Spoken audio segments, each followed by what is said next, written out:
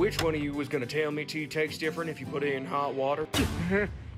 You're putting it in cold water? Radish, answer the question, Radish. Yeah, I thought for like five years that people just put it into hot water to speed up the teification process. Didn't realize there was an actual reason. You don't have the patience to microwave water for three minutes? Why are you putting it in the microwave to boil it? Do you think I have the patience to boil water on a stove? It takes less than a minute! Besties, you're stovetop powered by the fucking sun? How long does it take you to boil a cup of water on the stove? Like seven minutes! Just stick the mug on top of the stove on medium heat, and it boils in like two minutes. Less than that, and you use a saucepan.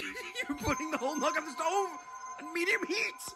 Your stove is enchanted. Every single person in this post is a fucking lunatic. Do none of you own a fucking kettle?